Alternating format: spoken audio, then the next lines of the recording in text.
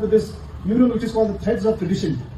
And if you look at the mural, it unfolds the picture of a weaver who's immersed in weaving magic, all the beautiful textiles, all the beautiful motifs uh, across the state of Meghalaya, from Khasi Hills, from Jaintia Hills, from the Garo Hills.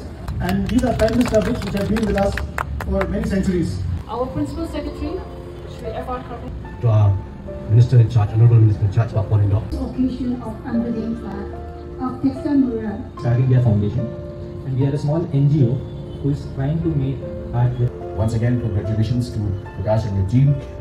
I'm sure uh, there's more for you uh, to encourage your team to put their brushes to. Make this city of ours appealing to the eyes, appealing to the senses. We should not only be borrowers of motifs and colors and designs, but we should be ones that contribute to the world at large. And I'm so happy to hear that this public art, which showcases the timeless textile traditions, has come up today.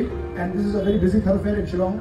And people will come and go, and uh, when they take pictures, when they circulate on social media, it will broadcast, highlight, amplify the rich textile cultural heritage in our city.